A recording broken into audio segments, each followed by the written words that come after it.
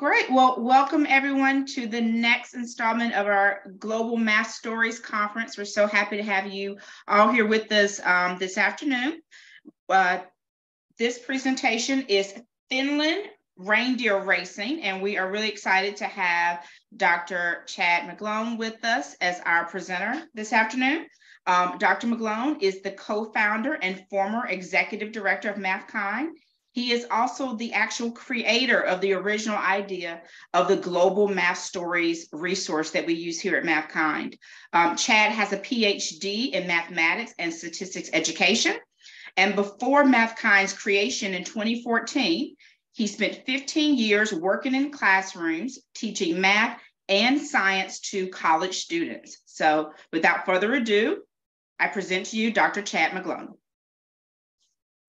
Thank you. Yes, thank you. I'm so glad that we're doing this. Um, I love seeing that MathKind is using global math stories in this way, and I'm excited for the direction we're headed with them. Um, I'm sure you've seen this slide a few times already this week, but remember just to be a curious thinker when you're working with me um, and in this session to particularly think about, and I'm saying this for myself, uh, the, the, the translation and the multi-language because speaking too quickly might be uh, hard to keep up with. Uh, be respectful. You know, with me, I do. It's it's perfectly fine, especially in a group this size, to just ask a question. So it's fine to for me to if you just say, "Hold on a second, I have a question." Uh, in fact, I want you to participate quite a, a lot. We're not going to necessarily break into groups to do a mathematical task, especially given the size. Uh, we can work on it sort of together. But most importantly, throughout the session, I want you all to ask the questions that you see, the math questions you, you see, and your to communicate your thinking to us. So let me get the right button here. There we go. So we're doing reindeer racing. And reindeer racing is something that people do in, in Finland what I love about the work that we have that we're doing with these presentations is it allows me, the teacher, to share other components than the objective I'm teaching. So my students come to the classroom and think, I'm going to do math today. And while I'm here, I'm going to learn an objective. And that's a different kind of thinking. Often we say, today, your objective is such and such. We sometimes write it on the board and everything we do is supposed to be toward that objective. I think maybe we do it a little differently. I think we teach math and that objective is sometimes part of it. It was always part of it in some way. So today, our objective will be to do some multiplication tasks in a real world setting. I want you to be mathematicians all along. I'm expand the part I would typically do with my students so that we have time to really dig into that sort of extra area of the lesson. So this first lesson is about reindeer racing in Finland. And you see Finland's on this map here. It's the country in red in Northern Europe. So, what do you all think about Finland? What kinds of things do you notice about it that you want to sort of make predictions about? Weather, population, things like that.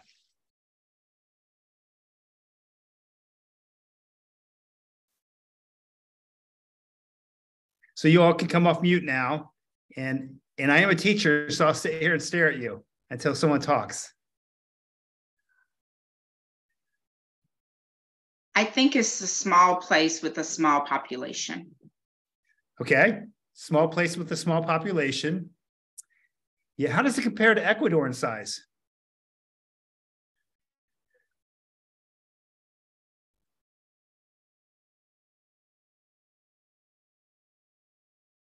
What do you all think?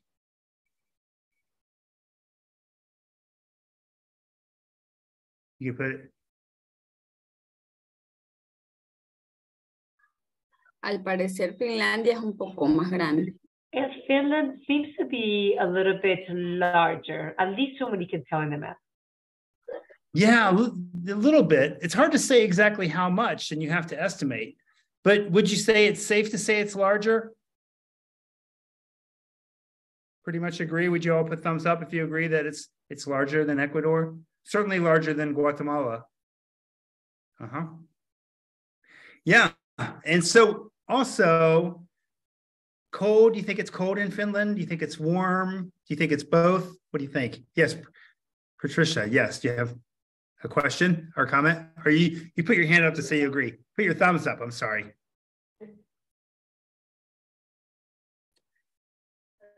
Para el, el Maglón decía que levantáramos manos. Oh, McGlone was uh, saying that we should raise our hand or some stuff Yes. to indicate whether it was larger than Ecuador. That's why I was raising my hand. But Yes. I think based on the location, I think it's cold. hmm Yes, it's very cold. Yep, I agree. In the wintertime. Yeah. Um, and so I have a couple of maps of Ecuador, you know, I mean, not Ecuador, Finland. So here's the shape of Finland. And, and what I'm curious to know is what kinds of things can you interpret from this map? Can you tell me, can you tell me what the population density is from it? What can you interpret from it?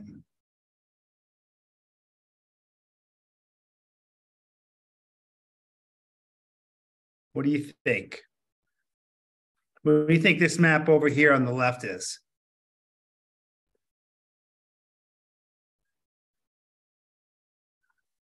What does it tell you?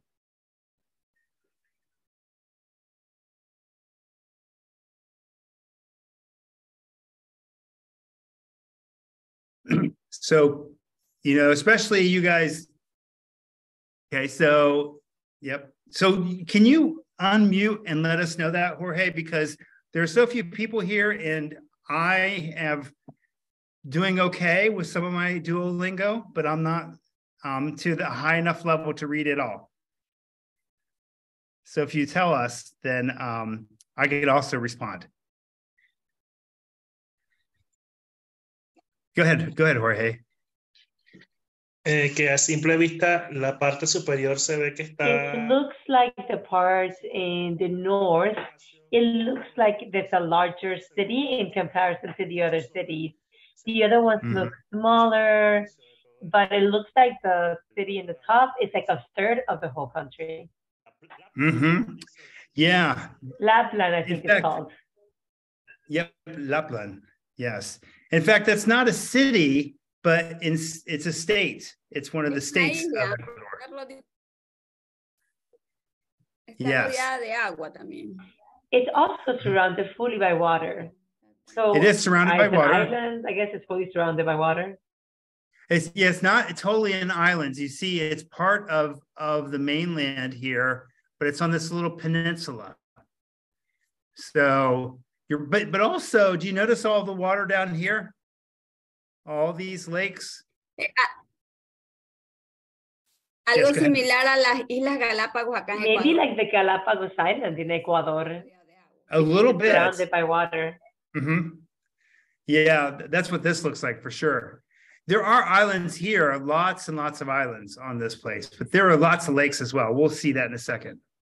So if I ask the question, where do most of the people live here in, in Finland? You really can't answer with this information. But you can with this map. Where do most of the people live in Ecuador based on these maps? And what, why do you think that's the case?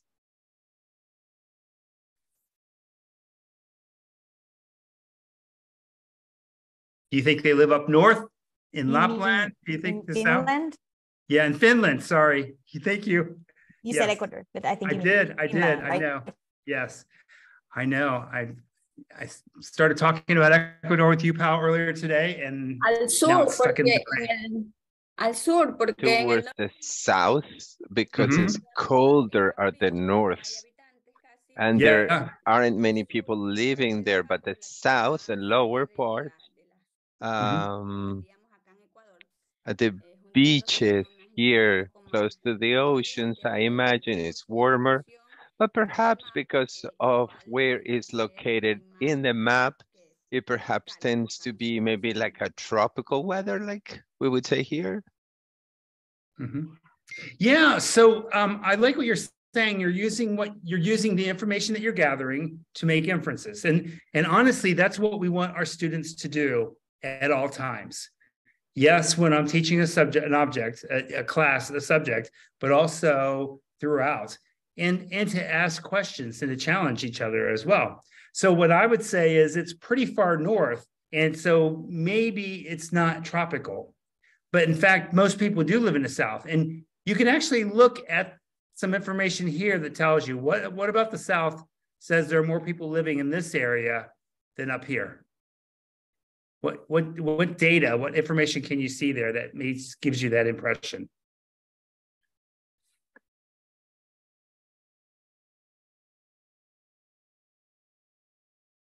But you see, I'm gonna I'm gonna move on because but there are a lot of roads down here. So literally, the person who's writing the map can send the message, can tell the story based on the information they provide.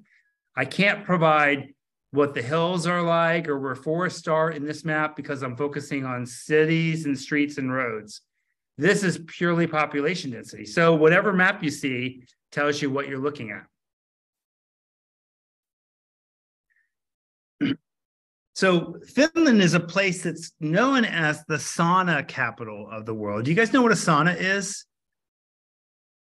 Is anyone, I know Kim, you've probably been in a sauna. We love saunas. They're like these steam rooms, um, but we don't love them as much as they do in Finland because in Finland, there's one sauna for every two people. So imagine that a family of four might have two saunas um, in Finland. So if there are 3 million saunas in Finland, about how many people live there in Finland?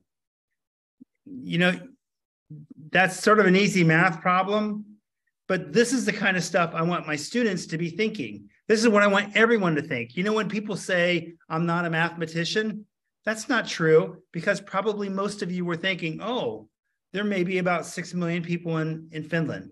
How's that compared to the Ecuador population? How many people are in Ecuador? Does anyone know? What's the population of Ecuador?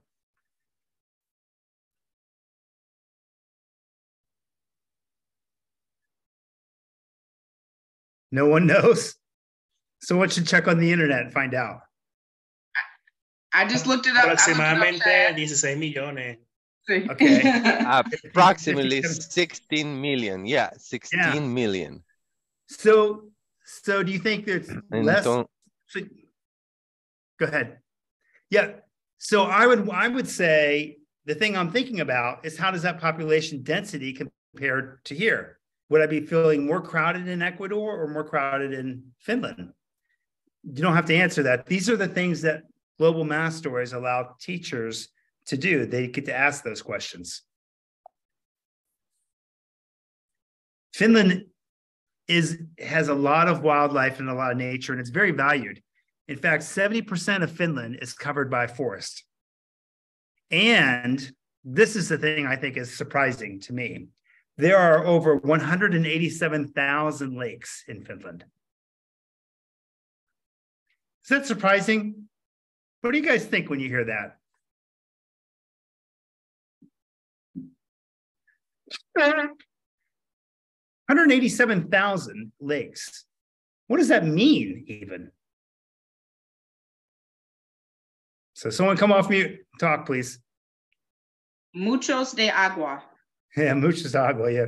it is too much because I, I think it's much much more than what we have in, in Ecuador, for example, where I live. Yeah. Yeah, right. A 107, like it seems like almost every house could see a lake, maybe. I would almost not believe that fact. In fact, if my teacher said it, I'd probably say, seriously, I need to check that myself. And, and that's the kind of thinking we want our students to do. And when they do global math stories, of course, I wouldn't spend 15 minutes talking about this. It'd be five or two. But still, we want we want kids to be thinking about this. The other thing is, how much of the of Finland do you think is covered by lakes? If there are 187,000, what percentage of Finland do you predict is covered by lakes? Um, Any idea? You should have an idea. You certainly could put a range on it. Do you think half of Finland's covered by lakes? You think 50% of Finland's covered by lakes? Más porque habla del 70%. More, I think somewhere said seventy percent. 70% is covered by forest. So that means Entonces el 30% de los, de los lagos. So maybe Right. thirty percent? maybe 30 or less, right? Because people Okay. live there too. Mm. 8 million people. No, 6 million people. Mm, Para ser exacto, sería, sería aproximadamente el 30%, porque ahí llegamos So approximately thirty percent because we have seventy percent of uh forest and thirty percent of water. And then you would come to hundred percent of the population. For the places that are Yes. not lakes and forests. Right. So Jorge, what are you going to say? Eh, the saying, eh, I was thinking about eh, dónde iban a vivir las personas o si ese I was thinking where then people will live. Right. So if in this seventy percent of uh forest, are homes also included? I don't think so. Mhm. Right. So we want to change that a little bit. Now, again, this is not the topic I'm teaching, but what's what I love about global math stories is that allows this conversation to happen or for you to just think it because that's what mathematicians are doing all the time. They're thinking, why is that the case? Is that really the case? What's the alternative? Do you know Finland's pretty far north? In fact, in the summertime, in some places in Finland, the sun doesn't set. In fact, this is midnight here in northern Finland. This is even after midnight, about 2 or 3 a.m. Isn't that pretty amazing? so, also in Finland, they have they very really value their vacations and people vacation in the summertime. In fact, every person in Finland is guaranteed a one month vacation each year. It's required by law. In addition to that, they're not allowed to work more than 40 hours a week unless they have a special permit. So it's a space that values wildlife, values nature, and also values the time to relax. So this is what summer's like. What do you suppose winter is like? How much how much darkness do you suppose there is?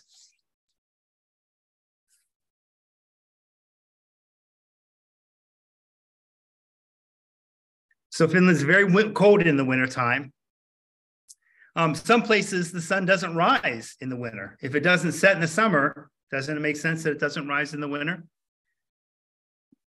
Um, if you are a person interested in seeing the aurora borealis, as my wife is, um, then Finland might be a good place to go because it, you can see that you're more likely to see the aurora borealis, not because they're more prevalent there necessarily, but because in the wintertime, it's darker longer.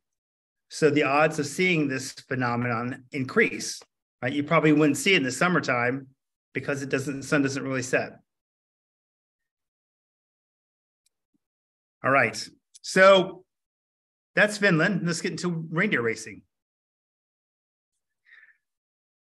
Reindeer racing is a popular sport in the wintertime in Finland. One, because it's cold, and um, it's just an, an activity that people can do and enjoy together. So here are a couple of pictures of reindeer racing or reindeer racing events. I'm going to show you a couple more. Now, I need you all to respond to some things here. So tell me what kinds of things are you seeing in these events? What what kinds of things are you noticing?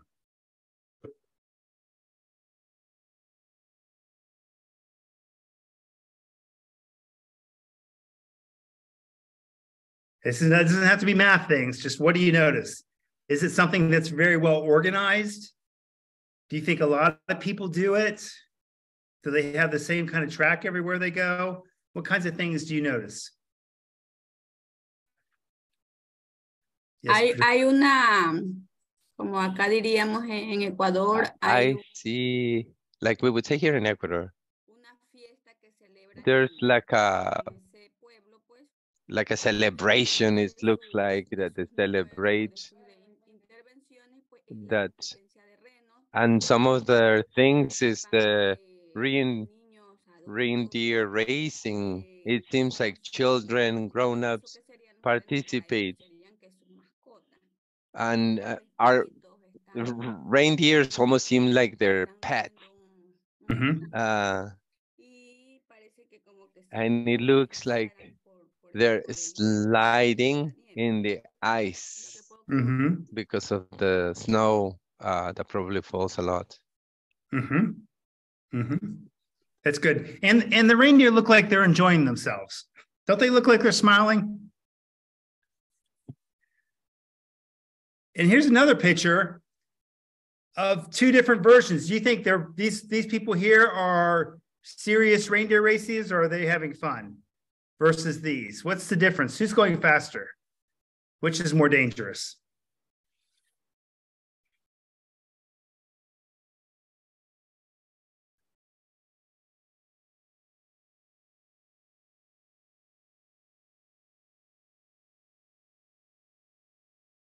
So for me, Como una from the competencia. right.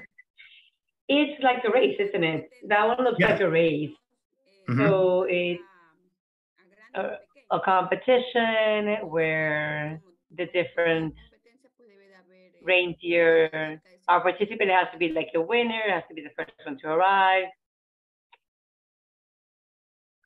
yep, Jorge, go ahead. Me parece que el que va más rápido son los que tienen hasta los implementos. I believe the ones that are going faster are the ones that have all the gear and equipment, like they actually have sort of the headgear and like the helmet. And even their positioning, you can tell that they're like sort of um, over so that they can really go faster. So that was the one that I think is more like a competition. And the other one, I think they're probably like something in the back, like, you know, what they're, what they're using to sit on like the, but yeah, this seems like not so much like a competition. That's right. You know, again, what I want to reemphasize over and over again is global math stories allow students to take in lots of information and, and make decisions and make comments. And then even to debate each other, because honestly, I could maybe argue that these people maybe are training to become good at this, or maybe they're making their their reindeer, they're training their reindeer or making them stronger, or maybe they're going to an event. It definitely looks like it's a, they're a serious event because people literally have special equipment for this racing. So it's something that they clearly valued, and they must be at a track here, right? That's been prepared for reindeer racing. Powell, yes. Melba in the chat is saying that uh, it's also about the perspective because the one is has a frontal view and the other one has uh, a lateral view. So it looks like the, the impression is that the mm, lateral is faster. Mhm. Mhm. That's true. It could be just perspective. And I think that's valuable. There's something to be said about having that debate. And I would say, yes, but look at these people. They're totally not. Look at this person's pointing, and this person, these people are both holding. So you're right. And it gives what I love about this is there's enough variation and enough information to gather that we can make decisions about this and have debates. So we actually could do some math, but before we do that, I want you to see some video of reindeer races. There are three different kinds of races here. Tell me what you notice about each one.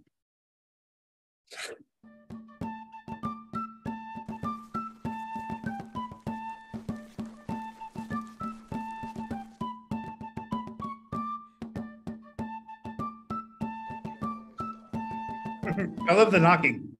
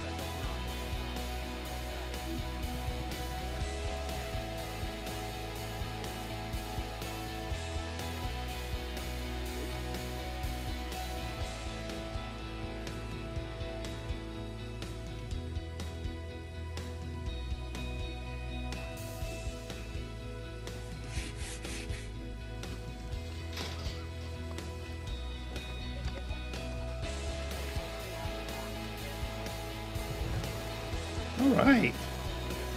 Is that what you expected?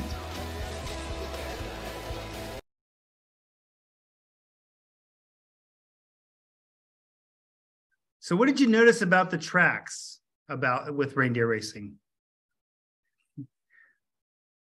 These will be something this noticing, making these notice, notices will help you in the next bit.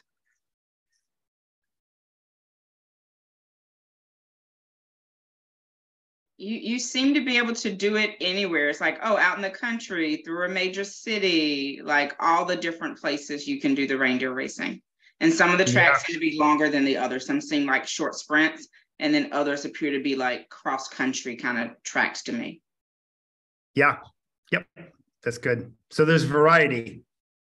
And it seems like something people train for too. The last video of the child practicing, that was something. And that's very important. Someone said to me, um, saw this in Africa earlier today, said, This looks very dangerous. And maybe it is. Yeah. So here's the math problem.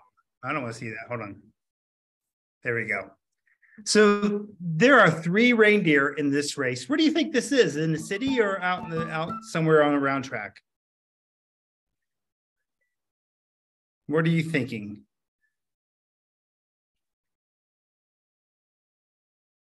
All right, so someone quickly give me an answer so that I can ask the math part. Yes. Eh, Go ahead. En la ciudad. Uh-huh. See, I agree. I think city. uh-huh. I think it's in the city as well. Uh, because of things we saw before. So probably this is going to be a straight line where they're sprinting, right? Now, this this is again what I think is this is what I want to reemphasize over and over again. This is not the math I'm teaching, but that's important stuff to be thinking about because that makes the math make sense. So we have three reindeer that are in a race. We have the one here on the left, the one in the center, and one on the right. The one on the left is averaging, is running 21.8 miles meters per second. The one in the middle is running 22 meters per second. And the one on the right is running 22.2 meters per second. These are legitimate um, speeds, by the way. So the question is, which one wins. And why do you think that? The one on the left, the one in the center, or the one on the right?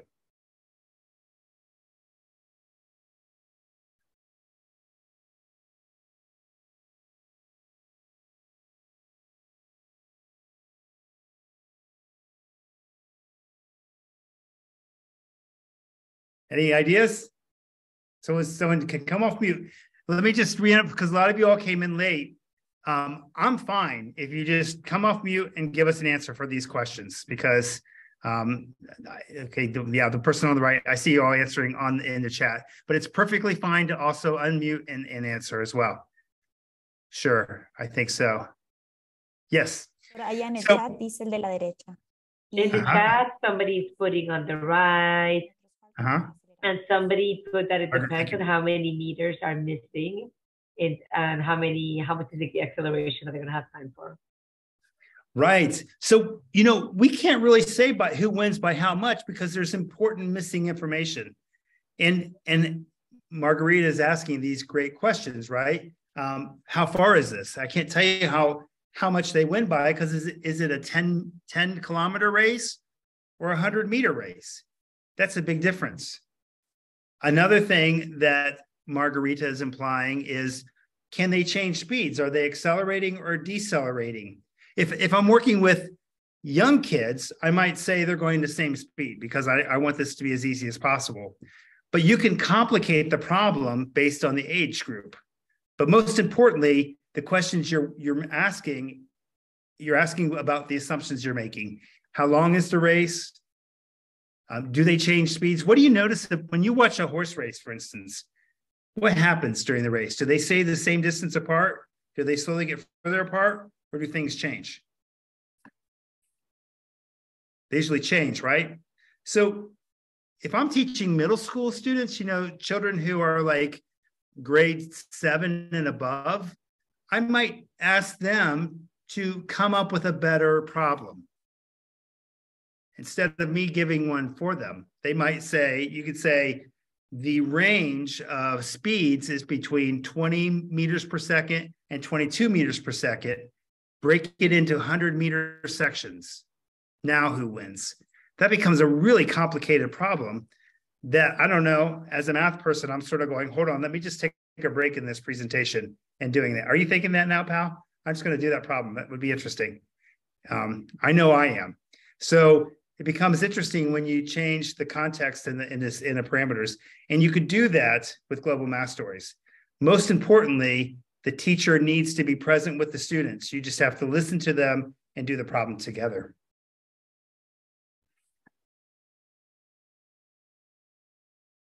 So this is my, my point. The probably the reindeer accelerate toward the end of the race. How can we change the problem to include different starting points and changes uh, a speed during this?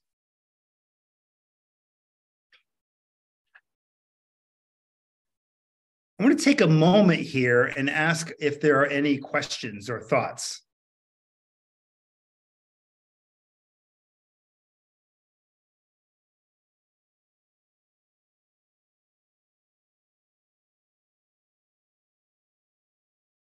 All okay? Okay, so what I want to do, and we might move this through this presentation a little bit quicker. Um, so why is this important? To me, teaching this way is important because it, my students have a chance to, to do math in my classroom. So they do math and learn a concept along the way. I've said that a few times now. They also have a chance to listen to other people, to evaluate other people, what other people say, and then provide alternative comments. What I love about Global Math Stories is when you're teaching an objective, it's usually pushing the students to think about something they've not seen before. But when you place it in a context like Global Math Stories, then students have a chance to make connections to stuff they already know they sort of warm up by just saying, here's what I know, here's what I know is right, and they debate each other so they learn to communicate in that way. To me, those are really good tools. When you're working with teachers in general, if you're doing trainings like some of our staff is, Global Math Stories is a great way to help a teacher stop lecturing because it's hard to lecture about a way of doing math when you're trying to find out which reindeer race when reindeer wins the race or if they change rates, how does that happen? So those are things that I think are really powerful about global math stories.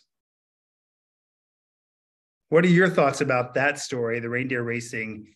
Do you think you could use it in your classroom? How might you use it?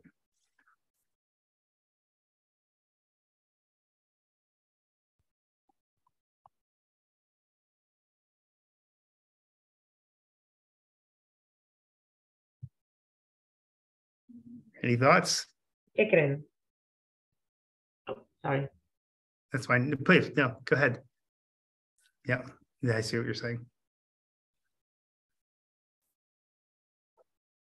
All right, well, let me tell you all, this is fine, but from here on in the presentation, I'm not talking as much because we have another story. I'm going to tell the story, but you all have to come up with all the math questions. Literally, anything that you wonder mathematically, you have my permission. You can, if you want to raise your hand, that's fine. If you want to just come off mute and try to talk, we can and see how it goes. But we, you can also write in the comments, and maybe Pal can read them. Uh, but I really need you all to to uh, let us know because I, I I don't want to tell you the answers. Okay. So and and this is a Spanish speaking area, so this might be interesting to you sort of looks a little bit like Ecuador in some ways. So, do you know there's a group of islands called the Canary Islands that are just off the coast of Africa, and they're Spanish. They're they, they belong to Spain, um, and they're called the Canary Islands. So, if I were a teacher, as you are, what kinds of questions might I ask students? What do you notice? What kinds of things do you wonder? And honestly, I love the what do you notice? What do you wonder? But one important thing is why do you wonder that? I think it's important for your students to start to understand why you think these things are interesting. Yes, I saw someone unmute, so please come back.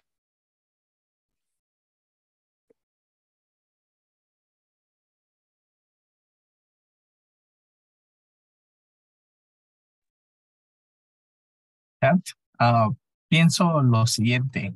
Una Yeah, I think a first exploratory question is why do you think they call this island the Canary Islands? Where do you think the name comes from? I would like to hear your ideas.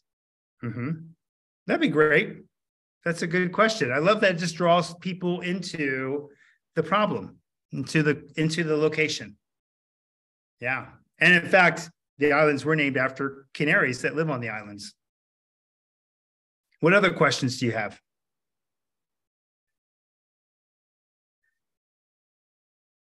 Yes, Ma- Mayra. ¿Podría preguntar cuántas We could ask how many islands there are. Mhm. Yeah, that's good. Yes, and we'll see that in a second, how many there are. Yeah. Does this look at all like anything you all are familiar with? In Ecuador, I'm surprised no one's saying, wait a second. Yes, Margarita.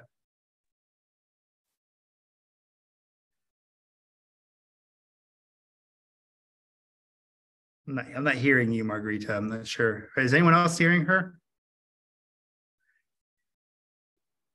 Hmm.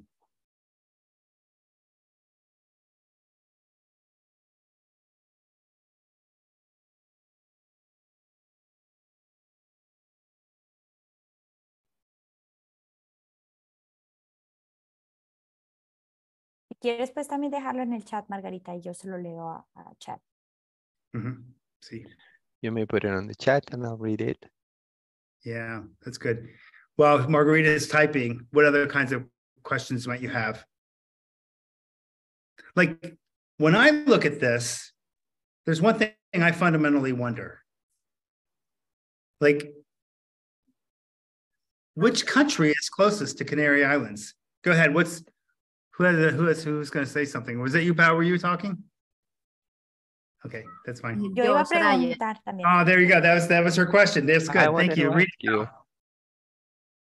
Go ahead. ¿Podría Sí, allá muy bien. Margarita dice, ¿por qué pertenece a España y no a Marruecos? Why does it belong to Spain and not to Morocco? Hmm. Yeah, that's a good question. Yeah, that's right. But then again, you know, why do the Galapagos belong to? Yeah, because Galapagos belong to Ecuador and not Mexico. Um, yeah, that's an interesting question. I don't know why. Let's we could find out.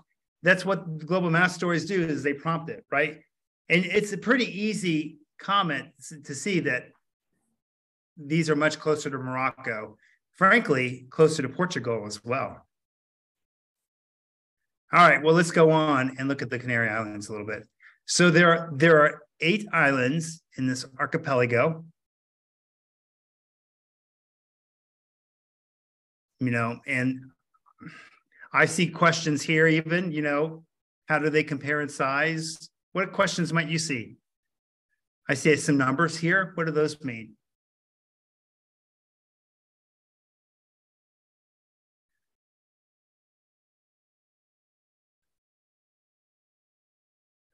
Imagine what your students would say if you said, even if I said there are eight islands in in the in Canary Islands. I think I made a mistake, didn't I?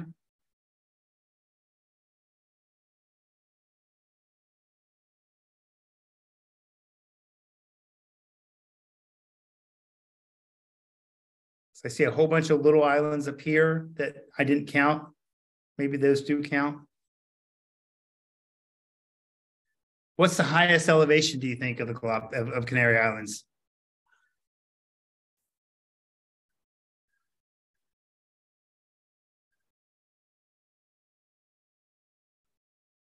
You could write these in the chat too. All right, I'm going to go to the next slide. So this is the um, a landscape of the Canary Islands, at least one of them. Thanks, Jorge. What might you ask students about? What do you notice?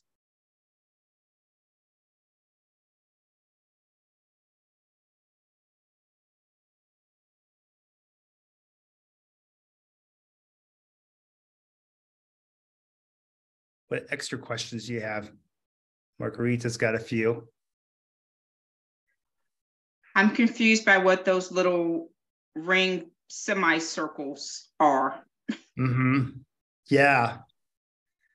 Yeah. And and you could look at the shape, you could say they are, are they semicircles and what's the arc of those? Yeah. There are holes. Why? Mm-hmm. Yeah. Yeah. Why are those holes there? How high is the hill above? There are no trees. Mm-hmm. That's good. I like that. Melba en el chat dice, ¿la concavidad es positiva o negativa de los orificios?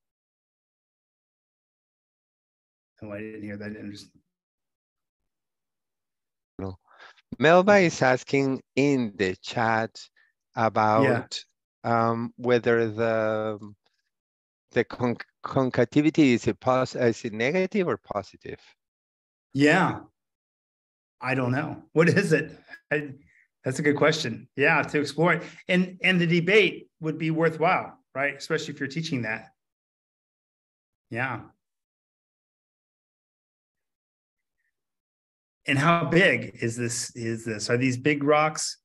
Well, there are in so here's an interesting thing. It's it's a very mountainous area, and you can see some of the ruggedness of it. They were formed by volcanoes. In one way, people communicate. Literally, they can have conversations through whistles. Um, and I just want to show you that you you could do a whole lesson about trying to come up with a communication strategy. But here's a video. You can get someone's attention. You could signal something important. Yes, is someone going to say something?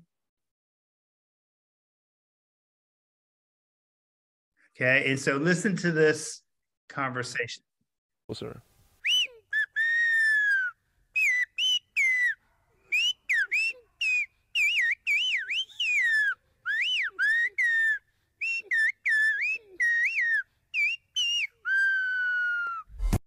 So that was a conference. He literally was saying, Hey, there are a bunch of people here, and they don't even know what we are, who we are, um, through whistles, which I think would be fascinating, especially uh, if I were a student.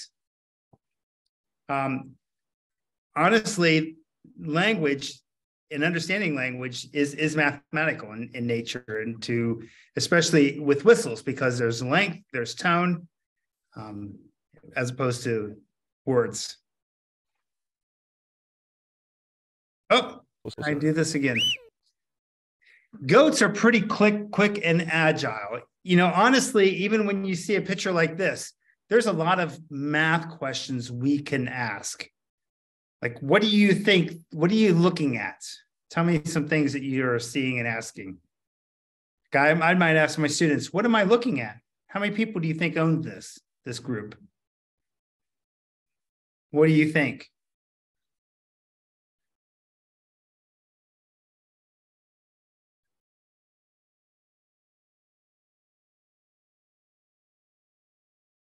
Any questions? Tell me what questions you would ask your students if they saw this slide.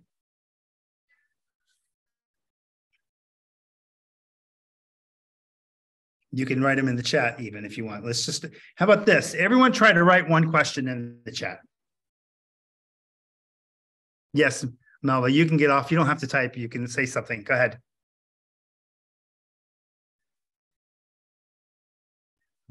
Okay. Okay, there we go. Area, okay. Can you count the goats? I like that, Kim. What other things do you see?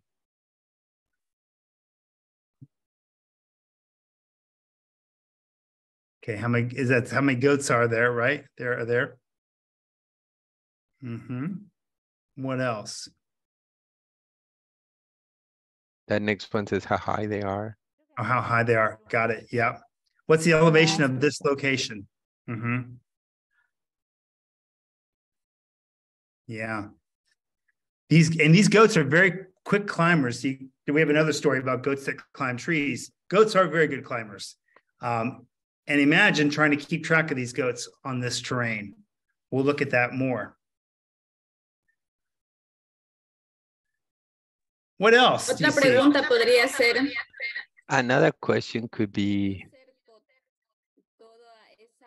if I close with a fence all the location where the goats are, do you, how high would the fence have to be for them not to jump it? Or will they be able to jump it, Mhm. to jump over?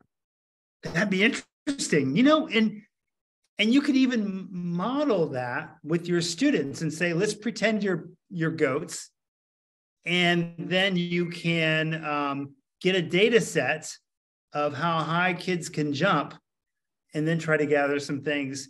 Jorge, it looks like you're dancing there for a second. That was hilarious. Um, Pal, what you you raised your hand? Yes, the color of the animals. Te quería leer el chat. Eh, Maritza dice I wanted to read the chat. Maritza says how many goats there are. Uh, Mhm. Jorge said how high. Number of animals that are black, number of animals that are white, questions like that. Mm-hmm. Mm-hmm. Yeah. So a question I have is is how many herds are there? How many people do you think own those goats? Is that owned by one person or a bunch of people? And why do you think that?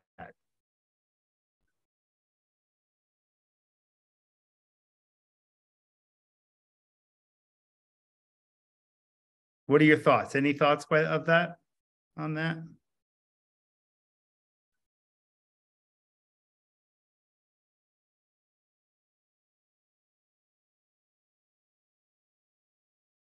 What do you think, Kim? I, I would say one person because I don't see how they're separated. If it was different people, how are they keeping the herd separated? Mm-hmm. Interesting. Yeah, I see. th- I see what you're saying. Huh. Go ahead. But I thought someone else raised their hand. Did I see Maria? Yes, Melba. Go ahead. Tell me what you think. Buenas tardes. Sí, yo también pienso que Yeah, good afternoon. There seems to be some kind of fence there, if I'm not wrong. Mm-hmm. So I'm thinking that they belong to one owner because I only see one division. Mm-hmm. That's what Kim told us said too. Yes. Interesting. Yeah. Did anyone think that they own by they're maybe owned by more than one group of people?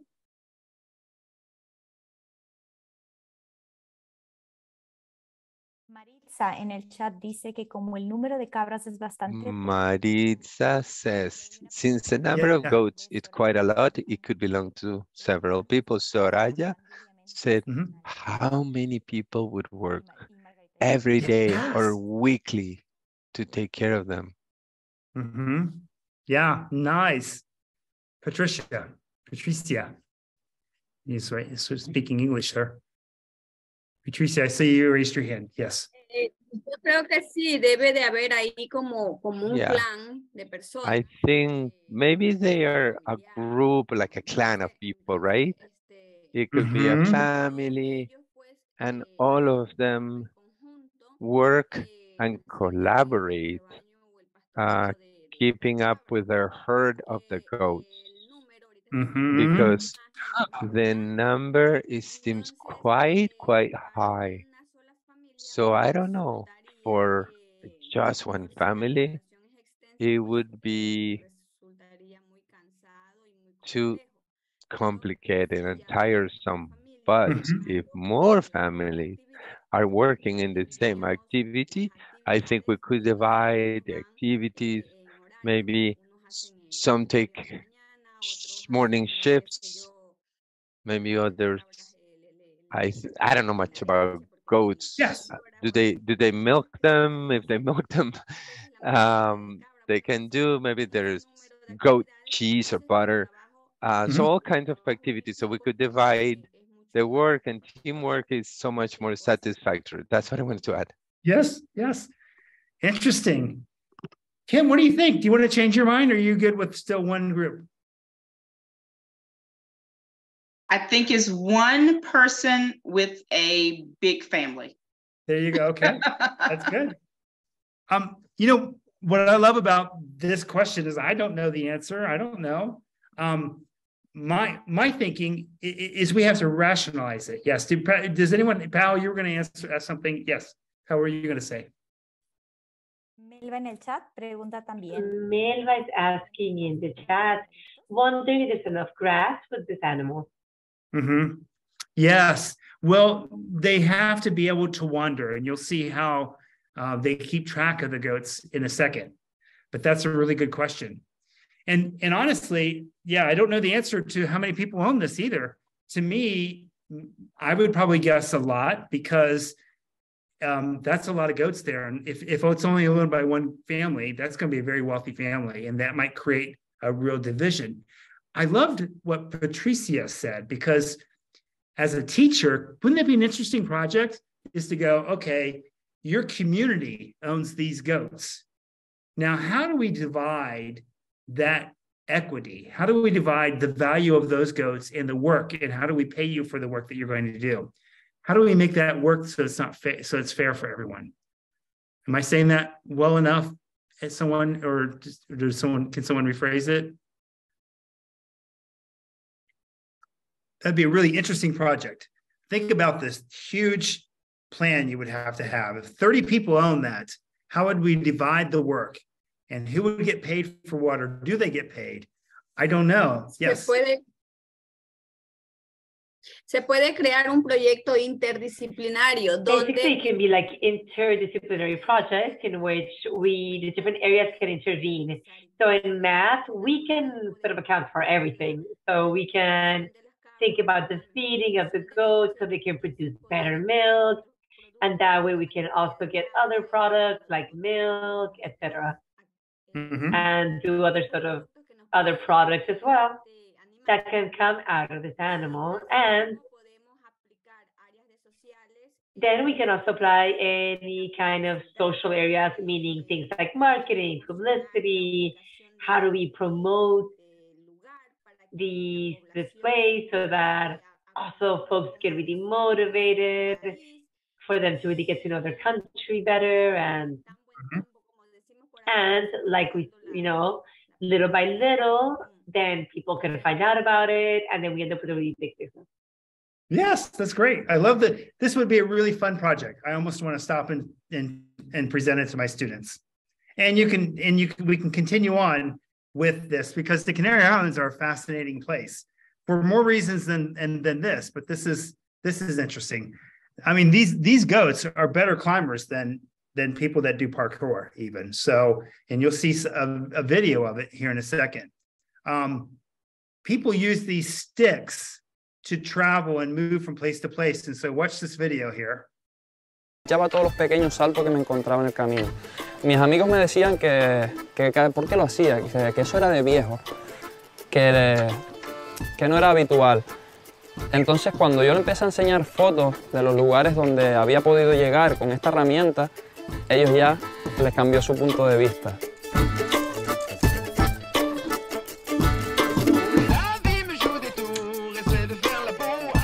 El salto del pastor es una práctica que es, eh, por lo que se ha estudiado hasta ahora, parece que es única en el mundo, la, la única zona donde se practica en las Islas Canarias.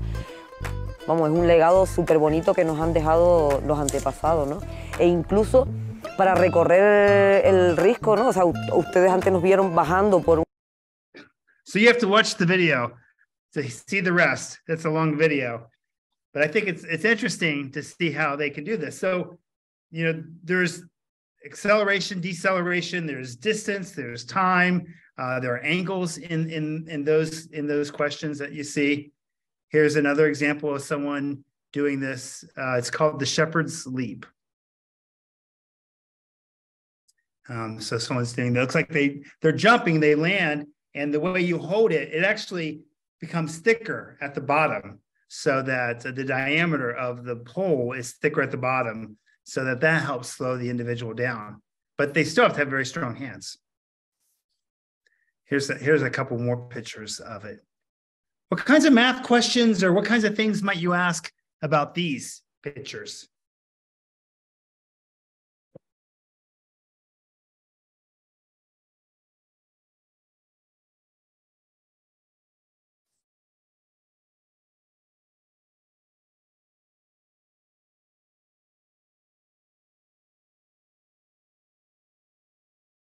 Can you all think of anything? Okay, yes. What about the speed, Kim?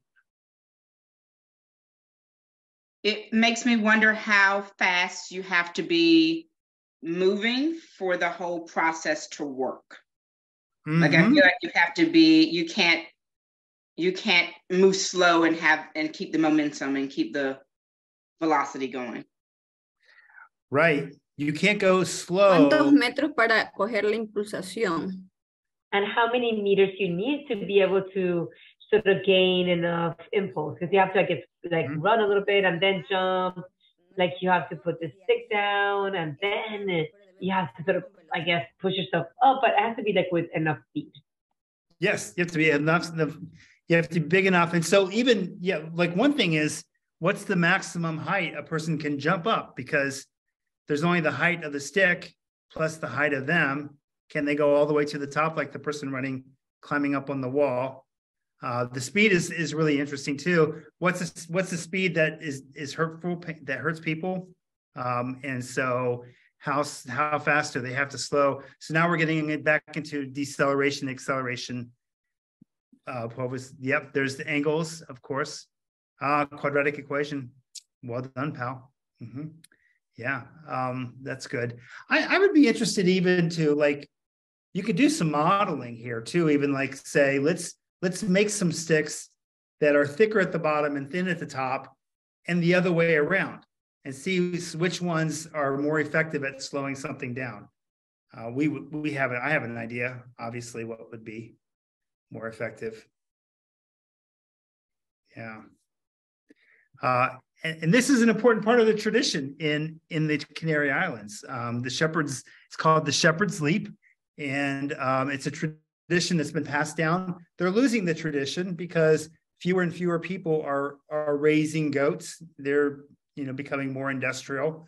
Uh, but this is a tradition that is, has has been passed down from generation to generation. The goats travel uh, pretty long distances to eat the food and, and, and find find enough grass to survive because it's a pretty pretty arid environment. It seems like to me. Yeah. So this is pretty much the end of my presentation. So what I want to do is ask questions that you have. I know I'm done a little early. Um, I would love to have you all fill five or 10 minutes with questions. Wanted to leave that. Questions or thoughts or ways, love to hear ways that you might use this in your classroom.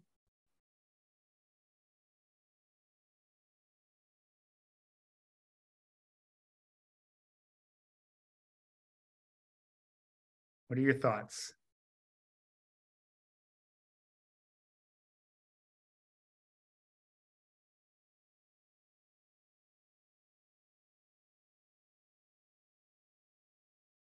Okay, well, that's a yes. Pal raised your hand. Thank you, pal. What's your what's your question or thought? Me gustaría si podíamos aprovechar simplemente el espacio para. could we take advantage of this space uh, to explore where these stories are located because we have not been able to do this in other sessions Mhm. so if you could help us and share with us how to access these stories like the two that you just showed us thank you so much Yeah, that's great, pal. Thanks for suggesting that. So I guess yeah, it's good. También Um, hay una pregunta de Margarita aquí que dice cómo se relaciona. Margarita has a question also. How is this connected to that Olympic competition that they have with like the long jump or I'm not sure what they call it, but in the Olympics they do a similar vault. jump like this. The pole vault. Yes. You know, it's I think it'd be similar. Yeah, it'd be certainly interesting to compare the two. Um, I don't know. I know the pole vault is very different, right? That pole bends and it springs people up, but then this you're starting at a higher level. That'd be very interesting to see. Yeah.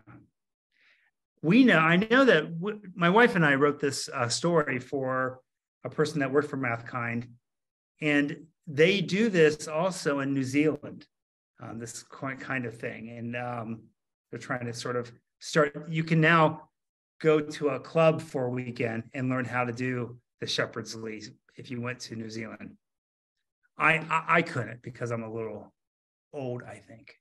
So anyway, if you um, you can just go to the MathKind website or you can Google one of the words. Now the resources is Mete Mundayo. Is that how you pronounce it, Mundayo? Um, you probably could Google that. I know if you just literally Google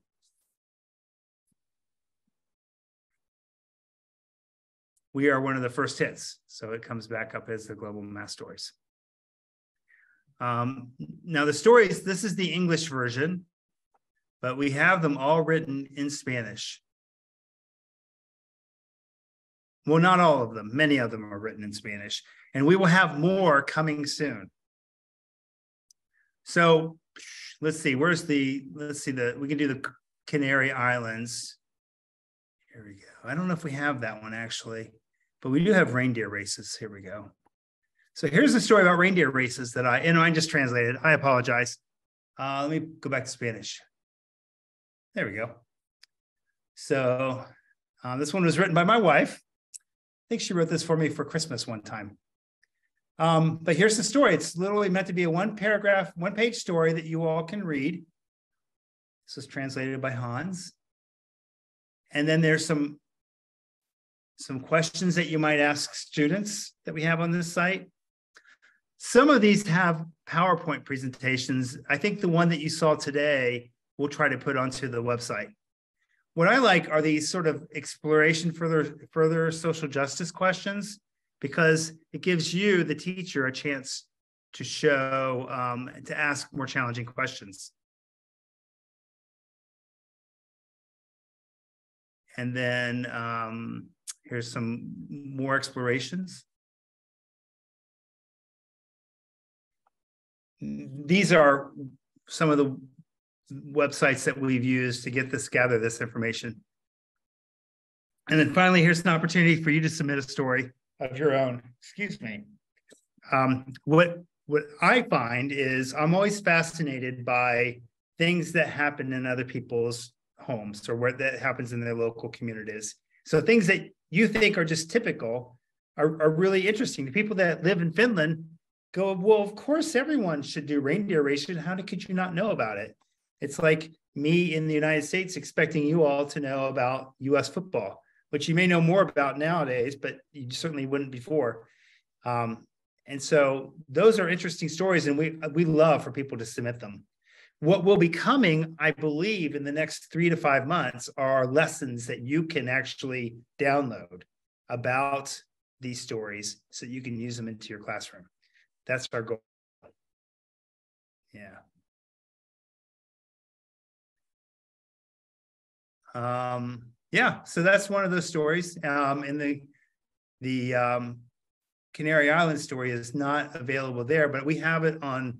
It's in English, and I know that you all sometimes can have translations here. Some of these stories have slideshows attached to them, like this one. And this is where I pulled the slideshow that you guys mostly saw just now.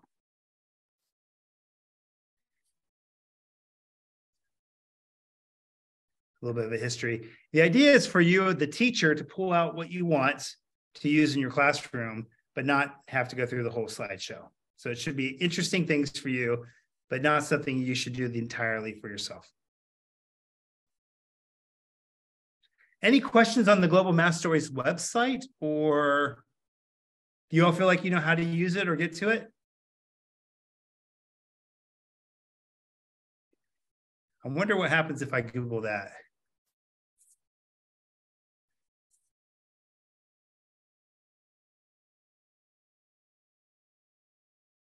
I spell this right? No, I misspelled it, didn't I? No, that's right. So it didn't come out yet. We have to have more people need to visit it before it comes out as global global math stories. Yeah.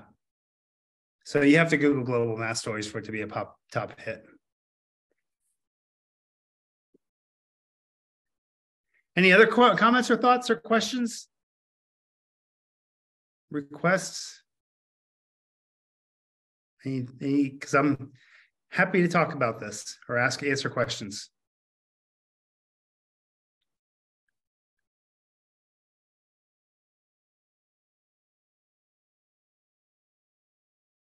Great. Well, thank you all for attending. And you'll have a little bit of time before the next presentation before to, to get some tea or coffee or enjoy something or take a look at one of these stories. Thank you all very much.